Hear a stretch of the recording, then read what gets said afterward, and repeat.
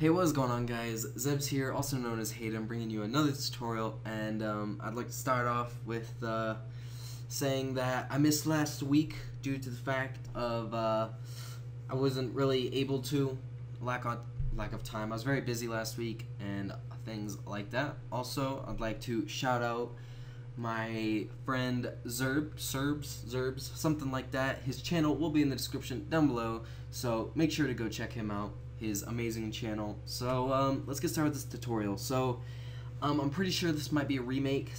This will be in the remake series due to the fact that I think I've made one before, um, but I think it was very good since I've up. Basically, I've updated. I cool, cool. I've I guess you could say updated my designing style of how I do most of my things now. So uh, this one's more efficient and it looks nicer on most styles and whatnot instead of just a certain style. So today I'll be talking about filters. Now I don't mean by filters like your iPhone filter that you would put on Instagram or something like that. I'm talking like blur, sharpness, all this stuff. Um, I've noticed that a lot of beginner designers don't even like mess with this. Like they may mess with the blur, but that's about it. Or the um, the uh, glowing edges. But I mean, other than that, they really don't mess with anything else. Which I mean, they're really missing out on a lot of like cool features. Now, I quickly put this banner together, so I mean, it's not my best banner, so don't judge it. Um, but just a quick little example of what you you could do. Um, so basically, uh, there, this might be a two-part series um, due, to the fact that one of them will include a will need a plugin and one this one won't. So keep that in mind. Um, so yeah. So the first thing you always want to do is uh, just select everything, everything you've made, duplicate it, and then just merge it together. Uh, the reason we do this is because when you're doing filters, if you, it only does that selected layer, so you want to have everything in one layer, um, and we duplicate it in case we made a mistake, or if we don't like something, we don't just like screw ourselves over with it, where we're stuck with it. So yes, keep that in mind. Um, so we have our thing. I, I just like to duplicate it again, um, so I have an original. And uh, the first thing I usually do is I go with uh, some blur. So I go with some Gaussian blur. Uh, and I just set it kind of like a maybe a 1.5 and that will give you too much blur obviously but we're going to erase the S. So we're just going to take this erase this so it makes it stand out a little bit more. And then with that what we're going to do is lower the blur to like 80 well maybe like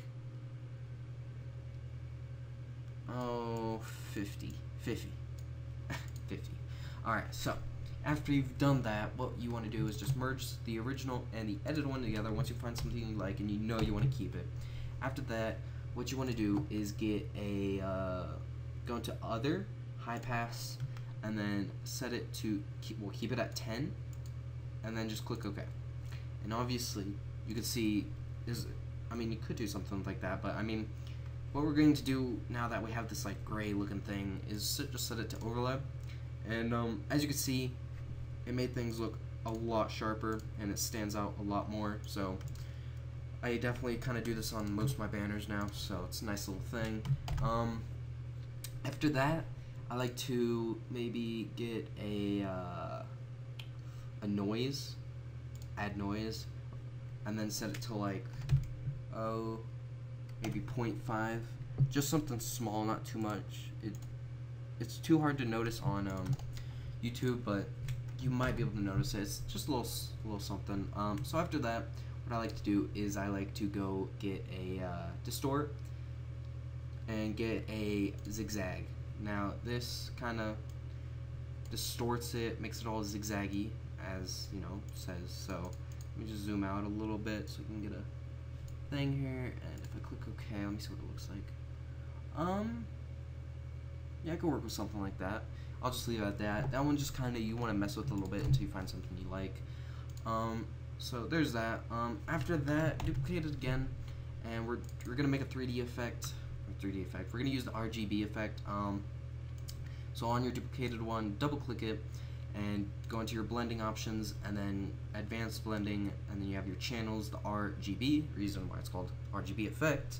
Um, but we're just going to uncheck the let's start with the blue. So uncheck the B to make it like this purple blue type thing. And uh, you want to select your cursor, your live selection tool, and on your keyboard, the arrows, the up, down, yeah, you know, the arrows, just want to kind of move it to the right a little bit, not too much, just kind of want to make it settle. Um, I don't like the blue, so I'm just going to duplicate it again and do a different one. So I might try out red. If red looks good, I'll use it. Um, I don't like red, so I'll probably just use green. Green tends to look good with blue.